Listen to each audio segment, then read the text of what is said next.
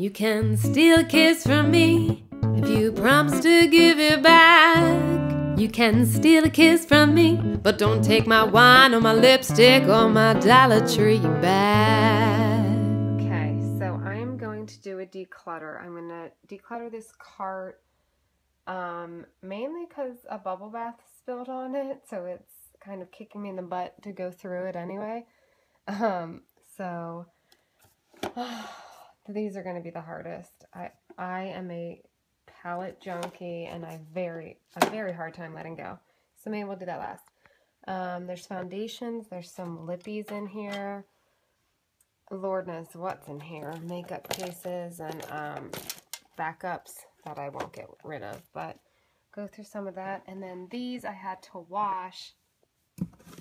Then I had this and I'll be honest, I rarely use single things. And I love these and they're gorgeous, but I'll just be honest with myself.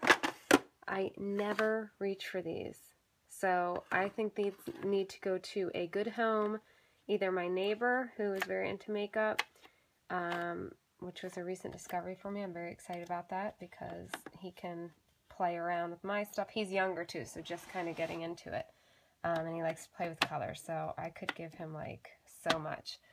And then, yes, the lipsticks that all got attacked, and um, I'll be getting rid of some of these, especially if I don't like the color, I don't reach for it, um, or if I have duplicates of the same color.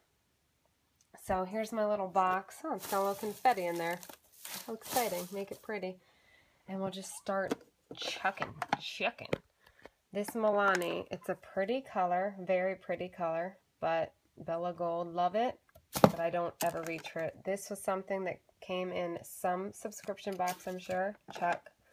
Now, oh, and what I want to happen is I want, yes, I was doing swatches of the lipsticks. Um, I want to, this is a gorgeous color. I just totally dented my finger in. Oh my gosh. Yes, like I want to have a small enough amount of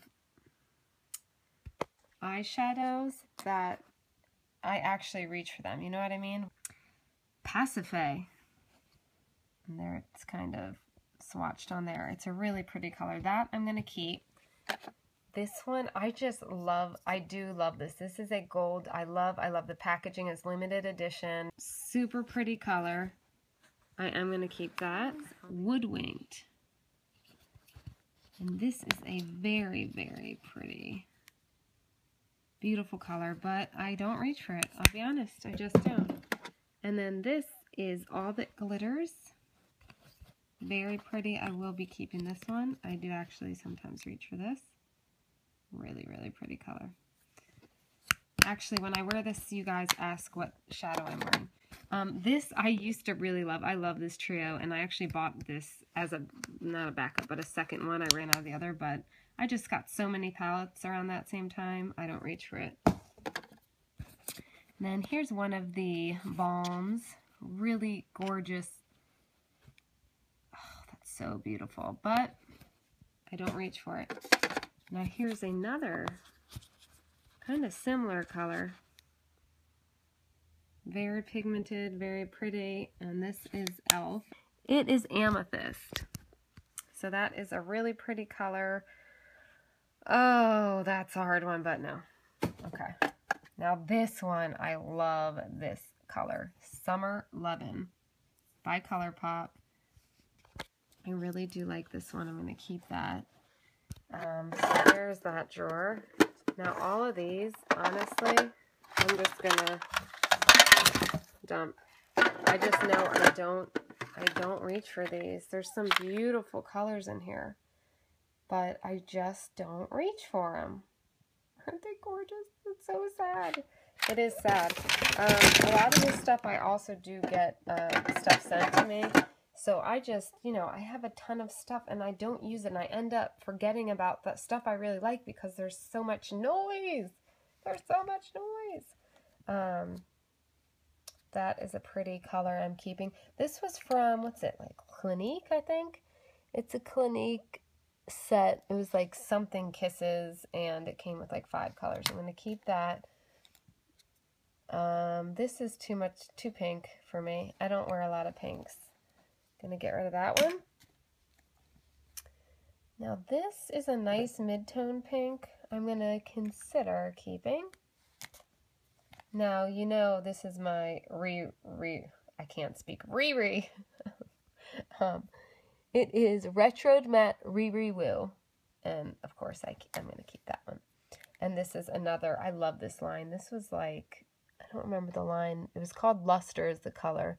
Um, but it was like this aquatic line. Isn't that so pretty? I love that.